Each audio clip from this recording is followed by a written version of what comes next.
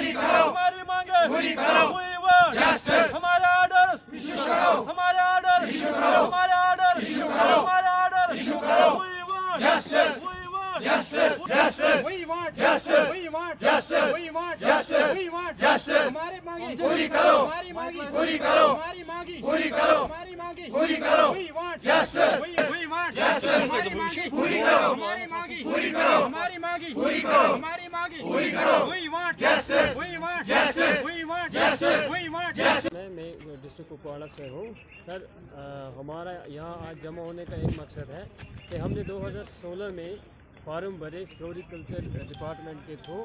تو جب ہاں یہاں پہ prime minister of India Modi ji آئے، انہوں نے یہاں پہ چنانی ناشتی کا چینل یہ ٹنل جو ہے وہ اناگریٹ کیا کشمیر کے لیے۔ تو وہاں پہ انہوں نے کہا کہ میں کشمیر کے یوواؤں سے اپیل کرنا چاہتا ہوں کہ آپ اس کو ٹوریزم کو چوز کریں۔ تو ہم نے ٹوریزم چوز کیا۔ تو ہم اس وقت ہائی کوالیفائی لڑکے ہیں میگزیمم گریجویٹس ہیں، ٹین پلس ٹو ہیں۔ تو ہم نے پھر اس فارم میں اپلائی کیا جب یہ نوٹیفیکیشن آئی تو ہم نے اپلائی کیا۔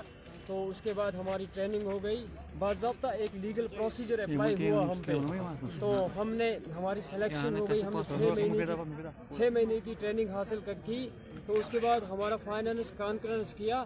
تب گورنمنٹ نے تو کہا کہ آپ لوگوں کو فاسٹ ٹریک بنیادوں پہ یہ ڈپارٹمنٹ میں ابزارو کیا گیا کیا جائے گا۔ لیکن آج تک ہم ایسے کے تیسے ہمارے بچے بھوکے مر رہے ہیں ہمارے پاس کوئی سہارا نہیں ہے۔ اور اس وقت ہم میں سے جو بھی تیرہ سو کے لڑکے ہیں تیرہ سو کے تیرہ سو سمجھو اوور ایج ہو چکے ہیں نہ کسی جگہ فارم بھر سکتے ہیں۔ تو ہمارے پاس کوئی سہارا نہیں رہا۔ لہٰذا کر کے ہم ہاتھ دو جوڑ کر گورنر انتظامیہ سے اپیل کرنا چاہتے ہیں کہ ہمارا یہ مسئلہ حل کرے ہمارے ساتھ انصاف کرے۔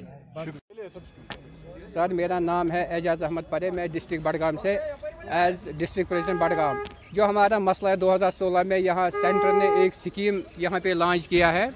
اور جس سکیم کا نام تھا landscape plus gardener worker اس وقت ہم نے پچیس ہزار کے نوجوانوں نے اس میں شمولت کیا، لیکن اوورہال اس میں تیرہ سو لڑکے کوالیفائی ہوئے ہیں۔ جن کا فائنانس کنکنسن کنکنس بھی ہوا تھا۔ تو پینتیس ہزار۔ اور اس میں جو ہمارا سیلری بھی بنا تھا سکس ہنڈریڈ ایٹ سو ففٹی لیکن ابھی تک ہمارے جو آرڈر ہے وہ پینڈنگ ہے۔ اور ہم اس سے پہلے ستپال ملک سے بھی ملے تھے۔ انہوں نے ہمیں اس اس بات اس ٹائم انہوں نے ہمیں اس بات کا بھی یقین دلایا جو آپ کا آرڈر ہے، وہ ود ان ٹین ڈیز میں آپ کا آرڈر ایشو ہوگا۔ لیکن ابھی تک ہمارا آرڈر پینڈنگ ہے۔ ہم گورنر انتظامیہ سے اپیل کرنا چاہتا ہوں، جو ہمارے مسئلہ ہے فل فل حل کیا جائے گا، تاکہ ہم سڑکوں پہ بار بار نہ آ سکے اس لیے ہم آپ کے وسائل وسائل سے آپ کے میڈیا کے وسائل ہمارے بات ہے، یہ ہر اتھارٹی تک پہنچنا چاہیے، جو ہمارے مسئلہ ہے، یہ فل فول حل کیا جائے گا۔